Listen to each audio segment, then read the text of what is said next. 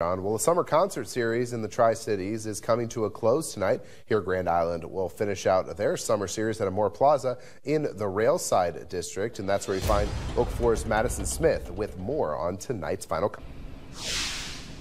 Hey Casey, I'm here at Railside where behind me later people will be singing and dancing for the final time this summer at Hear Grand Island.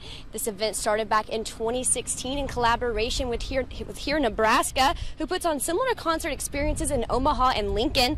Local food trucks and vendors come out to provide food and beverages, including alcoholic ones for those of age. The series is supposed to take place every Friday, but this summer it's been rained out three different times. I spoke with the founder this morning while he was setting up, and he told me what people can expect from tonight's show. This is kind of the end of the summer wrap up a little bit with AM FM as our, and it's a the big dance party. It's an 80s 90s cover band, and uh, I can't reveal, but we will have a special guest that is very well known. While this is the end of the summer series, it's not the end of all the shows. On September 13th, there will be the Bridge Show where top Latino, rock, and rap artists are brought in to perform.